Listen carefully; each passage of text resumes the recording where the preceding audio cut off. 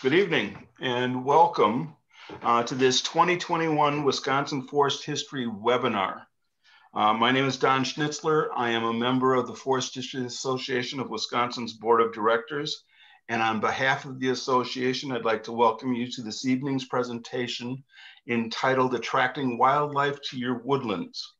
Our speaker tonight is Jamie Nack. Uh, she is an Extension Senior Wildlife Outreach Specialist in the Department of Forest and Wildlife Ecology at the University of Wisconsin-Madison. Her work involves developing and delivering educational programs to youth and adult learners on the ecology, management, uh, and conservation of wildlife. She is also the state coordinator for the Wisconsin Coverts Project, a woodland wildlife management program for private land owners.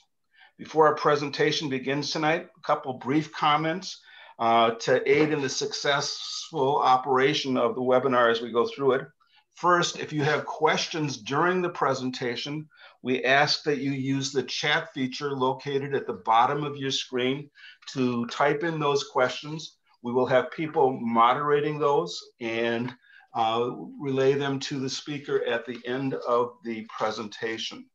We also want you to use that chat feature if problems arise that if you're not familiar with the Zoom platform or if you have questions about how to uh, do things during the conference, type them in there and we will watch for that so we can help uh, make sure that you have a good experience tonight.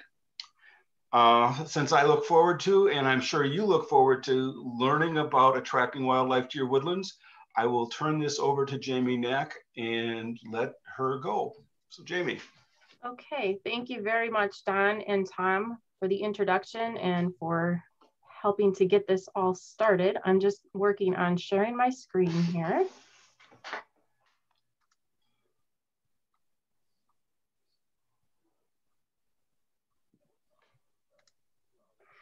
Okay. Can you verify, Don, that you can see the Yes, I can. Slide? Okay, excellent. I am so going again, to mute myself now. Okay, Perfect. So again, thank you for joining me tonight. Um, I wanted to start out a little bit of talking about kind of um, wildlife management in terms of goal setting. And so I pulled some data from the National Woodland Owners Survey, which I, I believe most of you are probably familiar with, that is done um, pretty regularly. But in the nation, 36% of the nation's forests and woodlands are owned by families and individuals, like many of you on the webinar tonight. When we ask them what their primary reason for land ownership is, we get the following answers. Um, for the beauty, for wildlife, for the legacy, for nature, and privacy.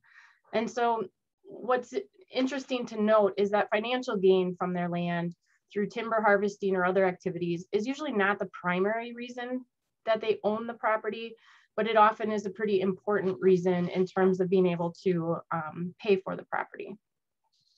And so um, many landowners say that seeing wildlife is among the things that they most enjoy about their land. And whether that's be uh, whether that's turkey or deer hunting during the hunting season or watching migratory songbirds at this time of the year and again in the fall. Um, for me personally, I really enjoy working with private landowners and certainly with Extension and the Department of Forest and Wildlife Ecology where I work. It's really important with wildlife being a public trust resource. It resides on both public and private land. It's important that agencies and organizations work with private landowners to help provide information on how they can manage wildlife with their goals in mind, and also for us to provide resources and um, technical and financial assistance for landowners as well. So I'm very happy to be here talking with you tonight. A few um, principles I wanted to get out of the way here, but managing for wildlife can absolutely be compatible with other goals you have for your property. And it's the notion that good forest management is good wildlife management. Very, not very often do they conflict, but we may need to prioritize, or you may need to prioritize your goals in cases of certain management options. And I'll give you a couple of examples here. Let's say you have a pine plantation and your primary goal is um, income from timber production. That really is a case where um, there's very little return from a wildlife standpoint. In a monotypic stand of red pine. So certainly some species, but not providing a lot of diversity in habitat or species um, for wildlife. And again, if timber management is your is your primary goal, then wildlife may be second and may not have a whole lot that you can do with with wildlife in that particular situation. And then this picture here, I don't know how many of you are familiar with the term wolf tree, but a wolf tree um, the term wolf tree comes from how many landowners and foresters used to view them, kind of the big bad wolf. They were trees that were targeted for removal because they often had short trunks that were useless for lumber, very wide branching shapes that took up a lot of the canopy and prevented profitable trees that could grow underneath. Um, and yet, when we look at this from a wildlife standpoint, these are amazing specimens. They tend to be this, in this case, this is a white oak, tends to be um, this particular tree when they get to this age, tend to be good producers of mast, which is really important for wildlife. Um, apart from their sheer size, their age gives them structural features that younger trees lack. So for instance, wolf trees often have some dead limbs and those limbs attract insects that in turn draw in woodpeckers and small mammals. And they may also have loose bark that can be attractive for, brood, um, for bats for a summer roost location. And these are often limbs um, and branches that serve as excellent roosting spots for um, wild turkeys. And another example of kind of trying to balance what your woodland and wildlife management goals may be would be, let's say you have 40 acres of woodland and from a wildlife standpoint, you want to manage for interior forest songbirds or songbird diversity. You'd like to have thrushes and vireos. Well, maybe you're also managing and harvesting timber um, and have a recreational trail that goes throughout that 40 acres. So the more fragmented it is, the less um, the less potential it has for those interior dependent forest birds. But on the flip side, you're going to attract a lot of other wildlife in that habitat as well. So sometimes our goals between forest and wildlife management may not be compatible, um, but for the vast majority of times, we can, we can find compatibility there. So I think this is fairly intuitive. Um, both my husband and I work in the wildlife field. These are pictures of my family, my kids we enjoy being outside. To me, it's a no brainer on, you know, why to manage for wildlife. And I'm sure many of you um, can resonate with some of these, um, the, the list here on the left in terms of the benefits that you can gain from managing for wildlife.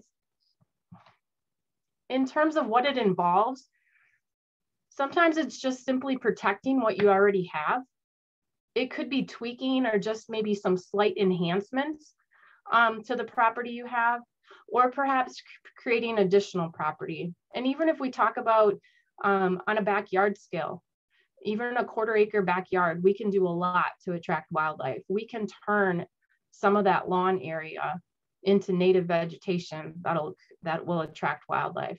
And the same thing if you have larger acreage, if you wanted to restore a prairie or um, start a new tree planting and so on. There's a lot that we can do to create habitat as well.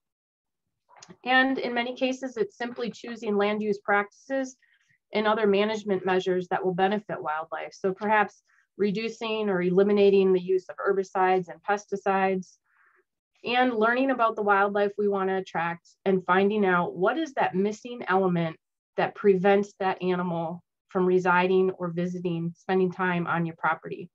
Is there food lacking? Is there shelter lacking? Um, what can we do to maybe attract more wildlife?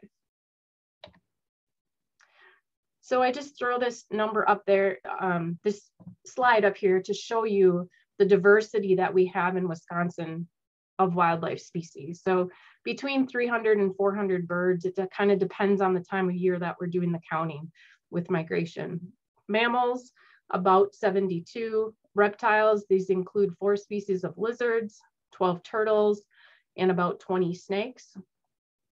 And then amphibians, this is the single toad species that we have, about um, 11 frogs and another seven or eight salamanders. So the big question is that I would ask you is what would you like to manage for? Um, now is probably a good time just to just to mention we can't we can't we can't have it all. We have to kind of pick and choose. And the habitat management that we do, there will be winners and losers when it comes to the wildlife that respond. And I'll I'll share that. Um, I'll show you a slide in a little bit that um, depicts that a little bit better. But it's up to you, the landowner. So this is the pros and cons of owning land. You get to have that um, opportunity to decide what you want to manage for on your property.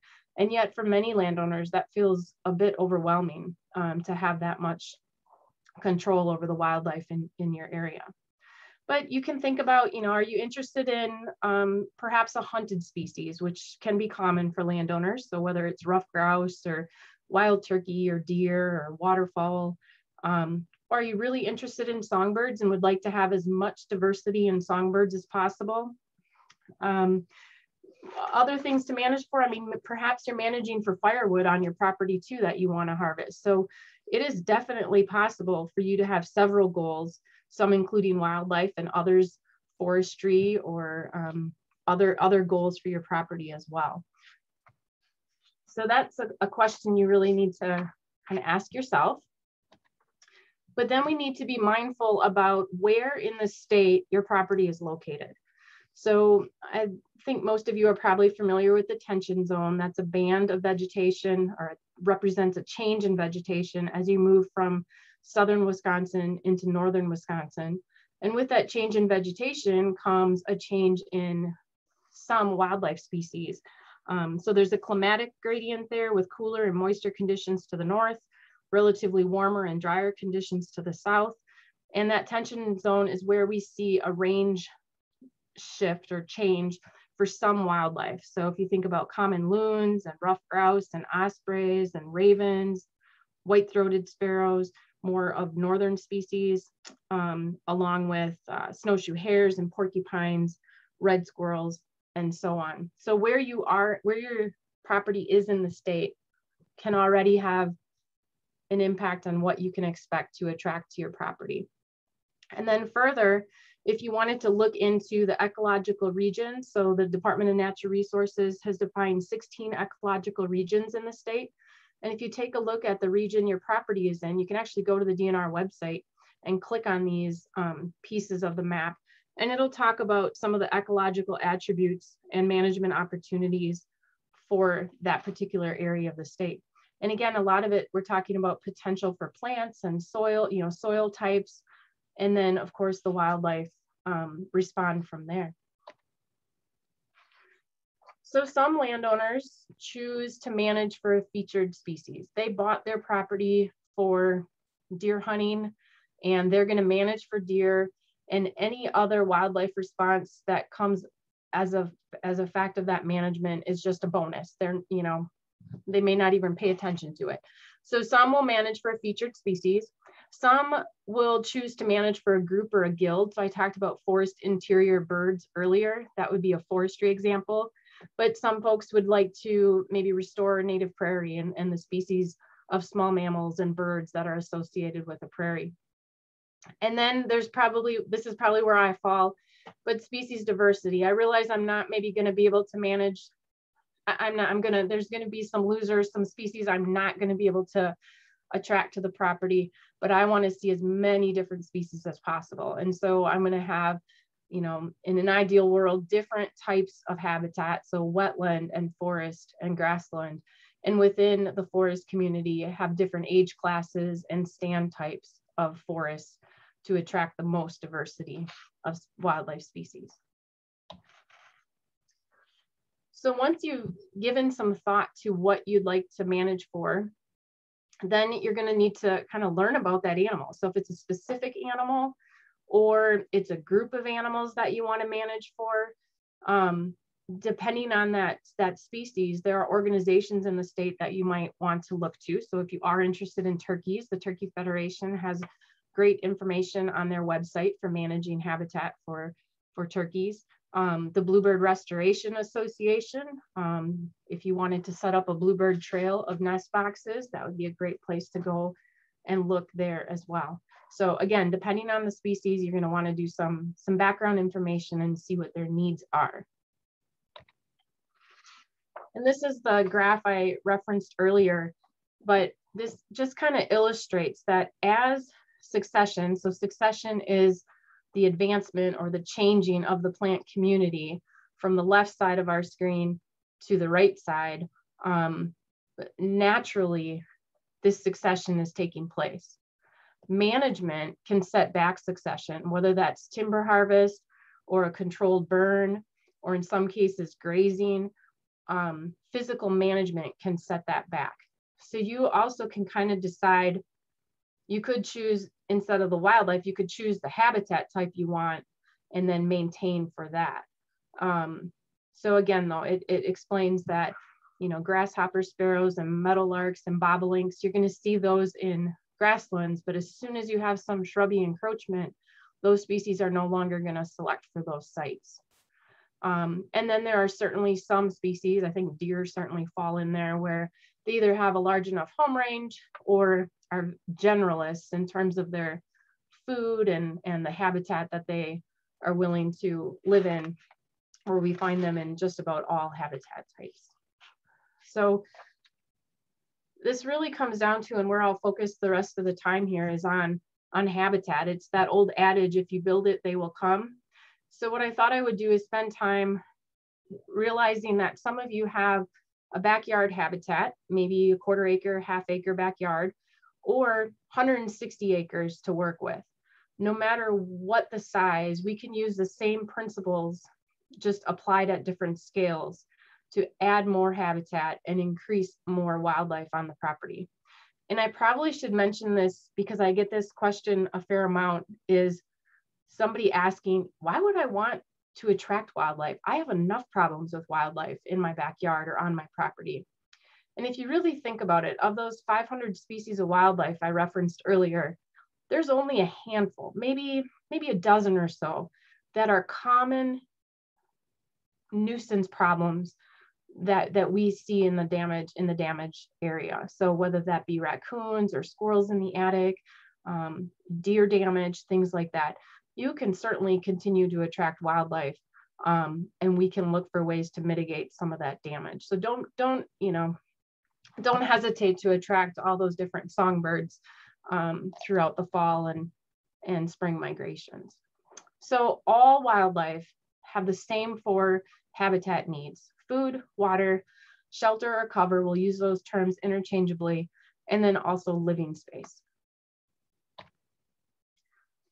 So when it comes to food, every species needs food, but they have their own specific food requirements. So you're gonna learn quickly here that diversity is the key with attracting wildlife. But if you can provide and think about food in a variety of different types, that that's how we want to think about diversifying the food that's available. So first of all, we've got fruits and berries, grains and seeds, nuts and acorns, nectar sources for those hummingbirds and pollinators, um, browse plants and forage plants like grasses and legumes. And then when we select for those plants, we also want to select plants that flower and bear their fruit at different times of the year. We don't want to select plants that are all providing food in the spring and no trees or shrubs that hang on to their fruits into the fall or winter like mountain ash that provide a late winter or a late fall um, food source. So um, animals also can switch their diet throughout the year. So for example, robins are gonna feed on insects and worms during the summer, real high protein. And then come fall, uh, they're gonna switch to fruits. Similarly, ruffed grouse and deer, they're gonna feed on all kinds of vegetation during the summer, like buds and fruits and mushrooms and greens.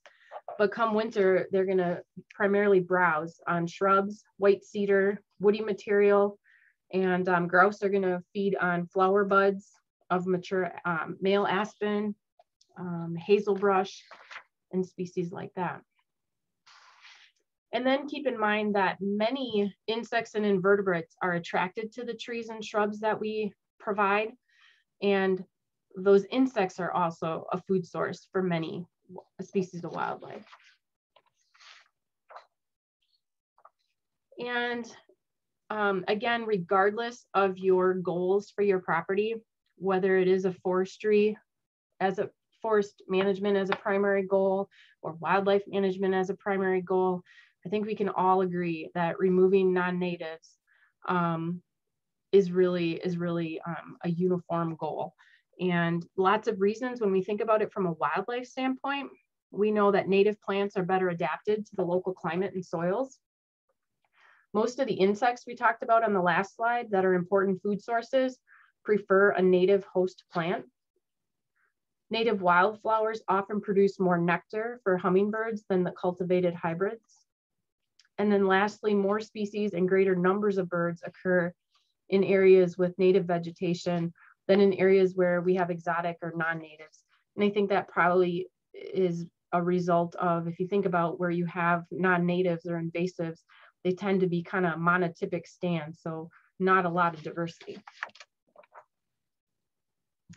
And I just throw this um, list up here, but here are some native um, trees and shrubs, and there's also lists for grasses and vines um, as well. But I'm gonna go through a couple of resources on the next slides that I wanted to draw attention to that are, are particularly good for finding plants um, that are important for wildlife. So Mariette Nowak, um, she wrote this, this is just maybe like a 12 page publication for the Wisconsin Society for Ornithology. And I really, really like it. I like it because it splits the species of trees and shrubs by the time of the year that the fruit or the seeds or the mast is available. And this is just a screenshot of one of the pages, but you can see summer fruit. These are trees to consider, black cherry, pin cherry, red mulberry. And then she adds some anecdotal or some additional information here about the types of birds that respond or, you know, will consume that fruit um, number of species. And I, I, just, I really like this um, particular publication and probably the best thing to get to it is a Google search. Um, it's Beyond the Bird Feeder, creating a bird friendly yard with native Wisconsin plants. And if you typed in um, Nowak, her last name, or just the uh, acronym WSO for Wisconsin Society for Ornithology, I think it would come up as one of the first um, links in the search. And if you get interested in it from looking at those maybe dozen pages or so, she also has a book published on birdscaping in the Midwest. Um, this is actually her second edition. It's a guide to gardening with native plants to attract birds. And um, that would be, you know, if, if you really get into it, I would, I would get the book. Another source um, of information is if you were to go to the Wisconsin DNR's website, and in the search box, just type in keywords native plants, and it'll bring you to this web page.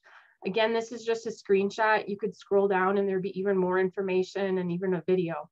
But they have um, some short PDFs on for instance, if you want to attract monarchs or pollinators or birds, there's some handouts, some short handouts on the types of plants to plant for. And then I don't know if you can see my mouse here, but where it says buy native plants, if you click on this Wisconsin native plant nurseries, it opens up to a PDF that's updated annually where you can search for nurseries where you can buy native trees and shrubs and forbs in Wisconsin. And then I'm guessing many of you being forest owners are aware that the state has a tree and shrub seedling program or a state nursery program. And within that, you can also get um, wildlife shrubs or shrub packets.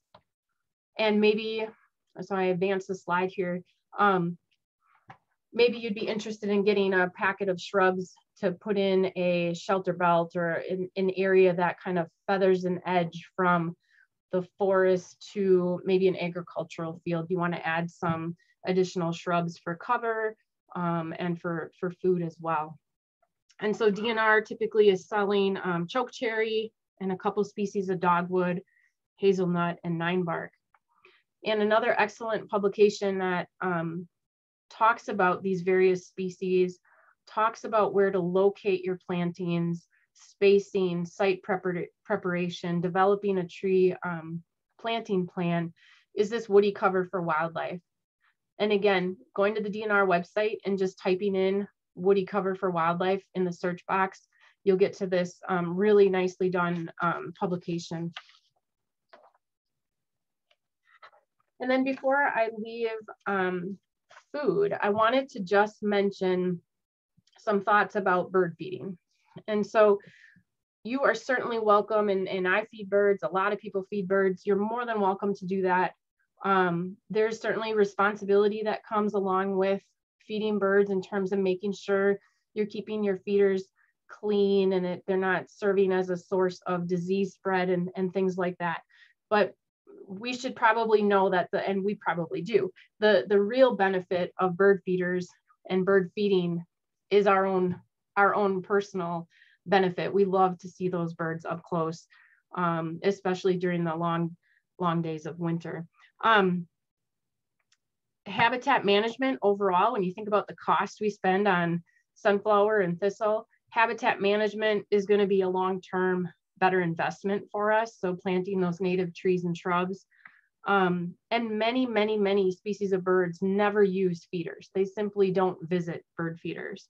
And even the ones that do, they get a relatively small proportion of their diet from bird feeders. They still are preferring native vegetation and, and um, getting access to food in other, in other ways.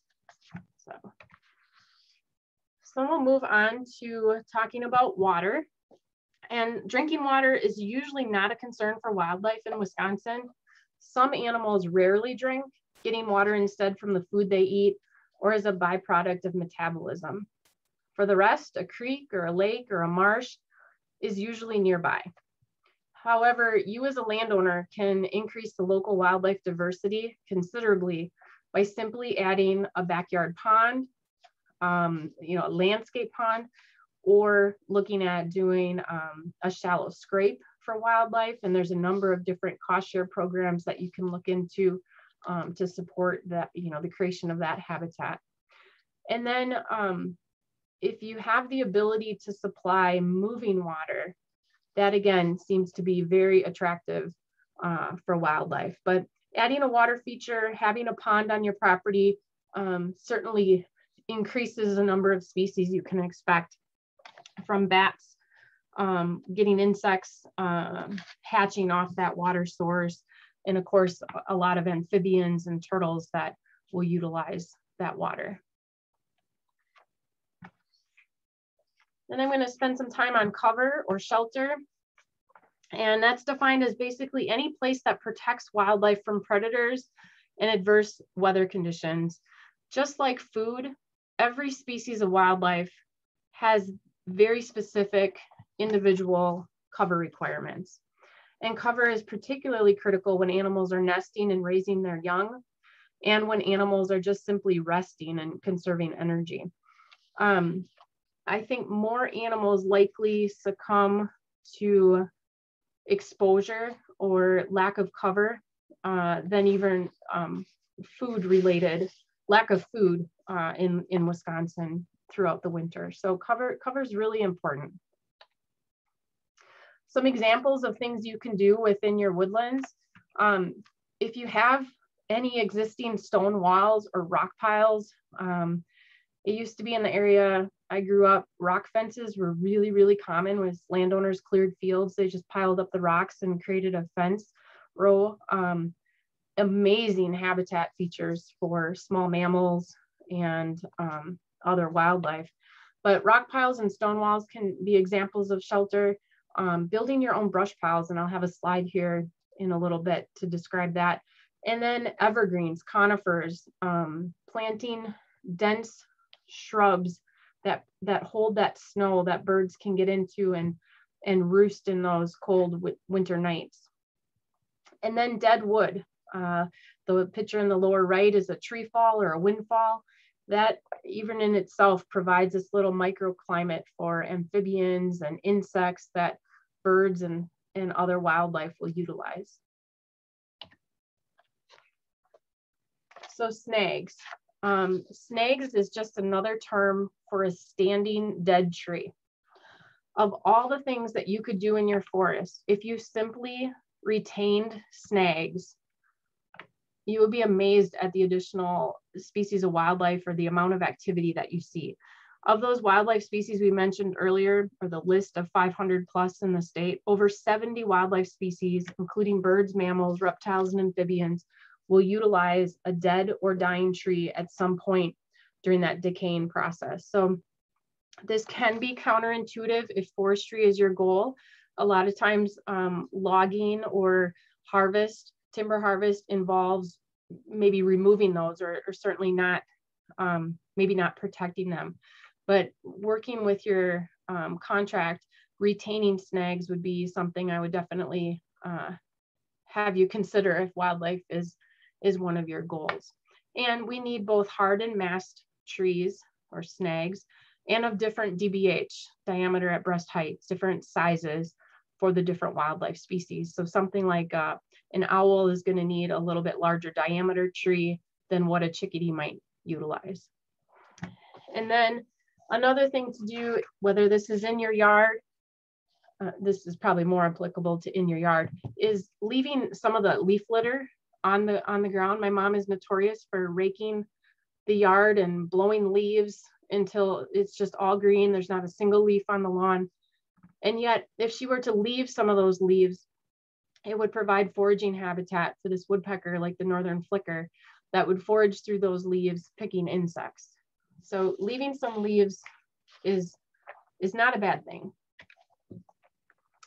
Other things for cover, I'll, I'll mention these brush piles. So if you, instead of burning these, um, but when you have timber harvest uh, activities on your property, is to actually pile up some of those tops.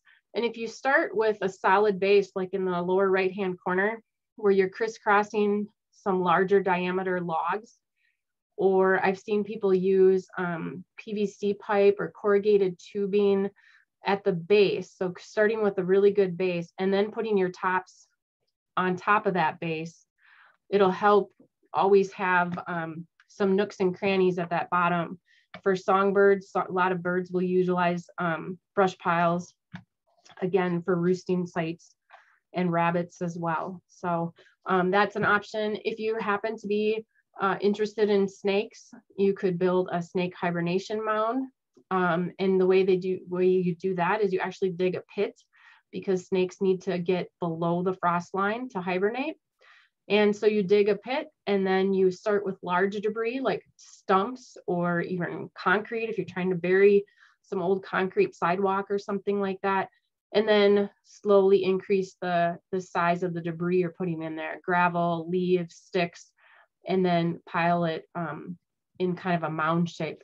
You'll eventually attract um, snakes to hibernate. And of course, they're excellent with their rodent control so that's another option too. And then also for cover and shelter, you can supplement what is naturally available by adding artificial cavities. So some wildlife species like flying squirrels or bluebirds, wood ducks, owls, American kestrels, they'll utilize man-made nest boxes um, and so when I started early on about managing for wildlife, sometimes it, it is simply providing a missing element. So if you don't have snags and cavities on your property, you can supplement that by adding a structure like a nest box. What you need to be careful about is that every species has a specific, uh, through research, we know has a specific, you know, kind of preference for, for their box, the size of their openings, the shape, you know, what we put in it. Wood ducks, we put um, wood shavings in the bottom. Other species, they bring in their own nesting material. And so you want to do some research and make sure um, you're using a good set of plans to build a species specific nest box. And then the picture on the lower left, of course, is a bat roosting box.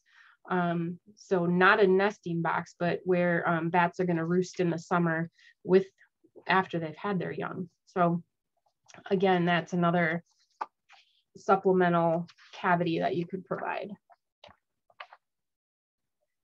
And then the fourth component was space, and we only have so much space in terms of perhaps what we own or what exists. Um, but every species does have a unique pattern of space or territorial needs, and they um, they may require more than what your property offers. So some species with larger home ranges may only ever be an occasional visitor to your backyard, but you could work with your neighbors and think about habitat on more of a landscape scale or a bigger scale and work to manage some of these larger ranging species um, together. Uh, so for example, turkeys, you may have that wolf tree or um, some nice white pines that turkeys are roosting on your property and yet you don't have any open fields. And when they have their their young their broods they the hen will lead them out to a field where they can pick insects. So they're going to forage on high protein right away. And maybe that occurs on your neighbor's property so again we can think about space as only our property but i encourage you to think about it in more of a landscape scale and then just two other kind of principles here to finish this out, but uh, arrangement is important. So food, water, and shelter, how we arrange those or intersperse those on your property um, will maximize the wildlife. So in the lower left corner, if you have food and food is A and D is shelter and B is water and C is maybe some more shelter, um, wildlife really have to move around quite a bit to go and get all of those resources. Where if you have a more intermixed, like the circle diagram, it makes it easier for wildlife to avoid predation. Um, if they have, uh, if they are not an animal that has a large home range, it makes them easier, makes them, makes it easier for them to find the resources they need.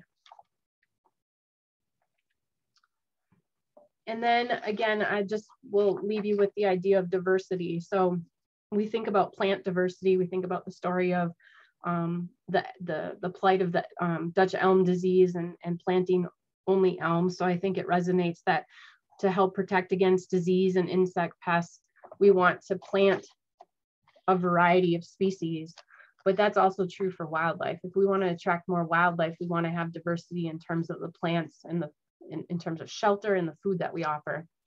Structural diversity is talking about that non-vegetative structure or the dead plant material. So we talked about like rock fences and fallen logs.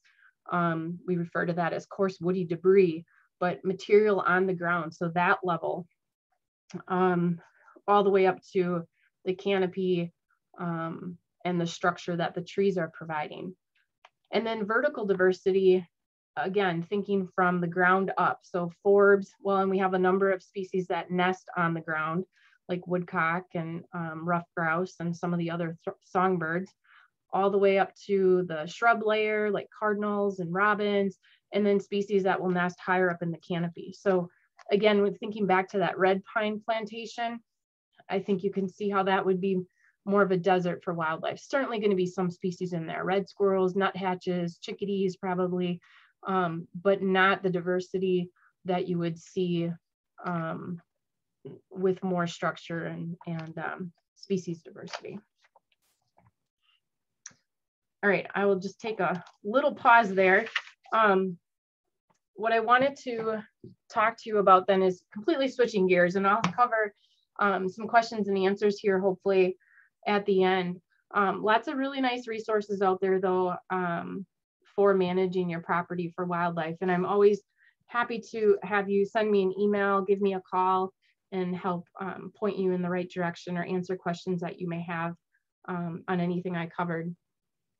If you get really excited about managing for wildlife and you're up for an intensive three to four day weekend, um, annually, we put on, I put on with help of colleagues here in the Department of Forest and Wildlife Ecology, the Wisconsin Coverts Project. And it's a three-day workshop, costs including the lodging and the meals. Actually, we do all of our own cooking. Um, we go on some field trips, All of that is covered through workshop sponsors and a grant from the Sustainable Forestry Initiative. And so this is a program that's designed for private woodland owners who are interested in managing the abundance and the diversity of wildlife on their properties. And then we're limited in how many we can, how many people we can take in a year. Um, we can take about 25 to 30 landowners. And so we're really looking for folks who are um, willing to work on a management plan. So we do feel that having a management plan is critical to reaching your goals. Um, and then also folks that are connected to others in their community that would help share this information. So this is really a true extension, train the trainer type workshop. We're hoping to take 25 people, provide lots of resources and information, and with the hopes that they'll share that information in their communities with neighbors and so on. And so this is just a list of some of the topics we cover, but we do a number of field trips as well. We go into the Northern Highland American Legion State Forest, and we visit a number of different stands to look at what the silvicultural or the harvest um, method is for that particular stand and what we expect the wildlife response to be. So everything from um, an even age to an uneven aged um, managed stand. And again, what, what wildlife will respond. We also do a workshop that's a lot of fun on um, how to inventory and monitor wildlife. So we go out ahead of time and we set some small mammal traps and some traps for reptiles and amphibians and track stations and trail cameras. And then we bring the group out and we work through these stations to learn about how you would um, implement that on your own property um, to, to monitor, to first of all, inventory what species you have on your property and then also as ways to monitor how your management is going. And so I'll leave this slide up for just a little bit here, but our next workshop is August 12th to the 15th. These are held in Woodruff, Wisconsin at Kemp Natural Resources Station. That's an agricultural research station of UW-Madison's. And then applications, you can either send me an email. My email is in the, on the bottom there or you can simply go to the Coverts website. If you don't want to write that down, I would just do an internet search for Wisconsin Coverts Project, and it should be the first, first um, thing that pops up for you. And you can download and print the applications right off the web page as well. And this is just uh, the front page that you'll see of the website itself. All right, so Don, I do not have any more slides. So would you like me to stop sharing? Um, sure. This is Tom. Okay. Uh, my name is Tom Giroux, and I'm the, uh, on the board for the Forest History Association, and I'll be kind of handling the chat portion of this webinar. And so um, being the manager of this, I always get to ask my question first. There's got to so, be some perks. So often we see woodland owners bring their uh, either European or urban aesthetic to their woodland and they want to uh, clean up everything after a timber sale and remove all the dead and dying material. And I think sometimes that's counter to some of the uh, wildlife needs. So maybe talk about that for a little bit. Sure. I um I find it disheartening. I don't know if uh, I'm sure others have noticed too, but as you travel through the state, um, you see a lot of fence lines being removed between farm fields.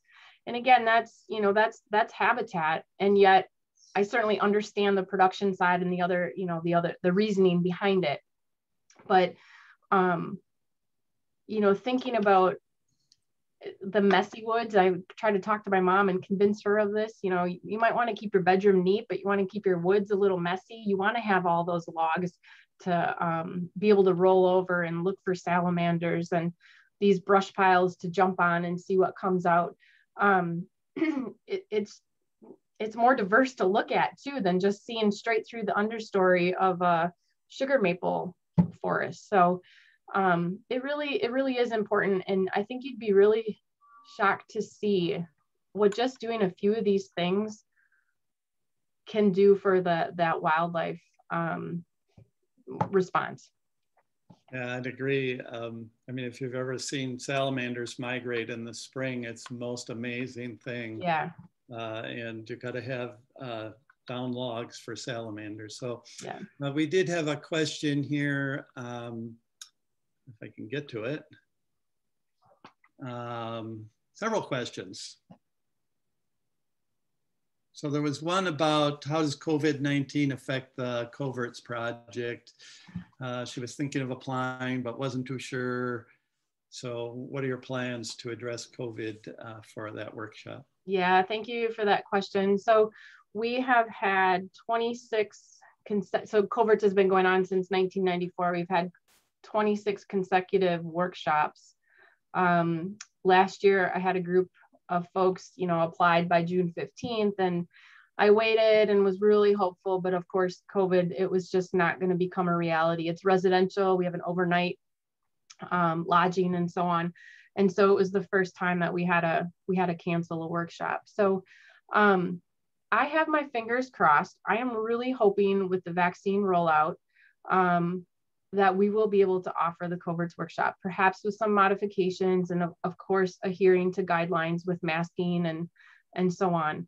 Um, but I have to follow the guidelines that UW-Madison and Extension put forward.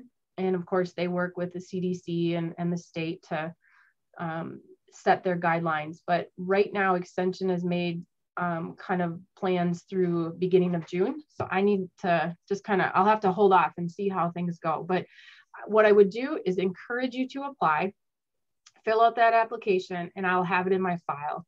And so this year, I reached out to everybody who had an application on file from last year and um, gave them the new information and they had the opportunity to keep their application active. So I'd encourage you to apply and I will do a good job of keeping you in the loop with um, what we can do. Uh, so the next uh, question on our list here is about uh, putting out fruit for orioles and uh, putting out your hummingbird feeders. Uh, what's the timing for that uh, activity? Yeah, another really good question. My mom and I communicate um, when we see the first, you know, the first hummingbird. And our experience has been is we never get them out early enough. I get to May 1st and I hang my hummingbird feeder and darned if by the afternoon there isn't a hummingbird on it. And I feel bad that, you know, how long has it been hanging out waiting for me to get around to it? So um, depending on what our spring looks like and what the warm up looks like, I mean, for me, I'm going to be thinking about end of April this year because when I when I put it up at the beginning of May last year, birds were on it right away. And Orioles will tech, typically you're going to hear them. They've got a very pretty song and are pretty vocal. You're probably going to hear them or see them in your yard um, soon enough to to know that it's time to go get those oranges out. But I, I generally put them both out at the same time. I also know that there's hummingbird uh, migration tracking websites you can go to. so uh, it's kind of interesting to watch them on their way up. Uh, so from Elizabeth, is there a way to reduce certain species? For example, we have so many squirrels on our property. Yeah, so Elizabeth is probably not going to respond, be able to, I'm not going to be able to ask her a question. So um, so sometimes that question is coming from kind of a suburban urban type um, environment where people are bird feeding are feeding birds a lot and so if we're in a city or a suburban area where you perhaps can't hunt um, or put pressure on them that way or there's not enough mammalian predators their populations can be can be pretty high and they can really cause some problems if you're in more of a rural setting um, certainly you can manage them. I mean, you you can harvest them, um, you can trap them as well. But otherwise, if you're if you're feeding birds and the squirrels are attracted to the property because of that feeding activity, I would look at some squirrel proof bird feeders that are made out of metal and they have a counterweight. So there's a bar on them that when the bird steps on that bar or perches on that bar, it still has access to the food um, the feeder or the hopper. But if a squirrel were to get on there, it, it the weight shuts the door to that feed. Um, or just thinking about how you're providing that food to deter squirrels. So um, trying to cover whether she's in a in a woodland area or in more of a urban suburban type setting. But I'm happy to you know shoot me an email and I can continue to try to help you there. Uh, so um, there's a question here from Ed. What would you recommend to assist wildlife during the severe winter weather, uh, really cold weather we had this winter? Yeah, so I would say this winter hasn't been near as bad as some of the polar long polar vortex years I can think of in the past where we really were getting that question a lot. Um, I think we need to remember that wildlife are so well adapted to the and you know to this winter weather. So whether it be in their coat or how they're able to um, shunt off blood to their extremities to keep their heart and their internal organs warmed, um, roosting together. Birds are, you know, fluff up their feathers to provide an insulating factor. There's lots of adaptations. I, I'd encourage you to, you know, take a look at it online. Winter, you know, winter wildlife adaptations. It's just amazing. Um, I've been attending a fair number of climate change webinars as well. And what was really striking to me is this idea that we think about snow as habitat itself and how important the amount of snow is, whether it be a ruffed grouse that roosts, snow roosts, so they actually um, land on the ground or fly into the snow and, and use the snow's insulating factor to roost, or whether it be the insulating blanket that snow provides that prevents frost from going deep into the ground where it can be um, an issue for amphibians or turtles that are um, hibernating in the mud. So snow is important in that case. And then snow also provides this blanket uh, and a layer we call the subnivean layer. It's the layer between the snow and um, the ground surface. And so there's a number of animals um, like weasels and um, meadow voles that are active year round, but they're active in that subnivean layer. And so that snow, again, is something they actually rely on. So snowfall is important. Um, other things to assist them, don't get into feeding wildlife. I mean, feed the birds, that's great, but don't get into feeding deer um, and fox and raccoons and things like that. There's just too many negative things that can come from it both from a human standpoint, but from the animal standpoint as well. Much better to go back to those native plants that we talked about and planting shrubs that bear fruit late into the winter or um, and or um, these conifers. Again, as I mentioned earlier, it's actually the cover, the lack of cover um, that can be more harmful to wildlife than, than sometimes um, the lack of food. So more native plantings for sure. I think that's uh, wise to uh, concentrate on the habitat and improving the habitat and it'll help all the species to weather the winter weather. Uh, so uh, I think that's good advice. I, I, love this question from Paul. It's not for you, it's for the Forest History Association. My, my kids took forever to get to bed. Whoops where can I find a recording for this fabulous information? It's available, and I'll bring up the slide here on the Forest History Association's uh, YouTube channel, and, which is available from their website. And so that information is coming up on the screen right now.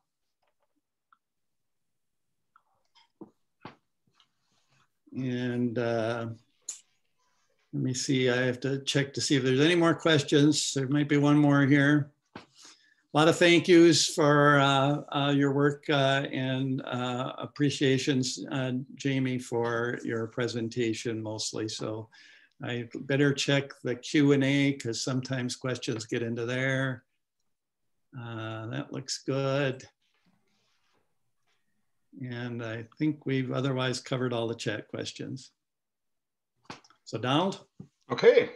Oh, first off, Jamie, thank you. It was a great presentation. I love the pictures.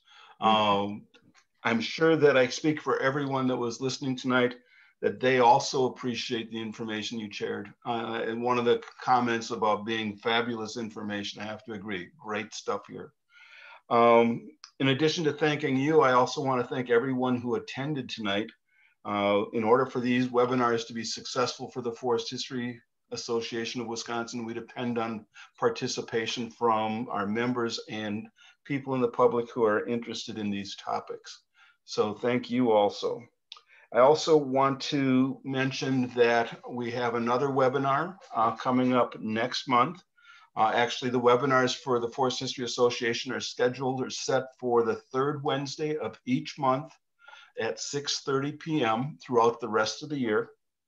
And next month, we're going to be listening to uh, Peter Shrake. He's the current archivist at the Circus World Museum in Baraboo but he's also an author and he wrote a book on um, uh, John Kinzie uh, in Indian Age from Portage, Wisconsin. And he's going to be presenting a talk, Frontier Dipl Diplomats or Agents of Empire, U.S. Indian Agents in Wisconsin, 1812 to 1845. So that link will be available on our Forest History Association website, uh, and you can see the uh, address on the slide that's projected right now. It will also be posted on our Forest History Association uh, Facebook webpage and probably shared as an email for people who have attended past webinars for the Forest History Association of Wisconsin. Uh, and as always, the webinars are all recorded. They are available on our Forest History page and also on our YouTube channel. And with that, thanks again for attending. I look forward to seeing you next month or hearing our presentation next month. And so good night for tonight. And thank you again, Jamie. Yeah, thanks for having me. Hi, everybody.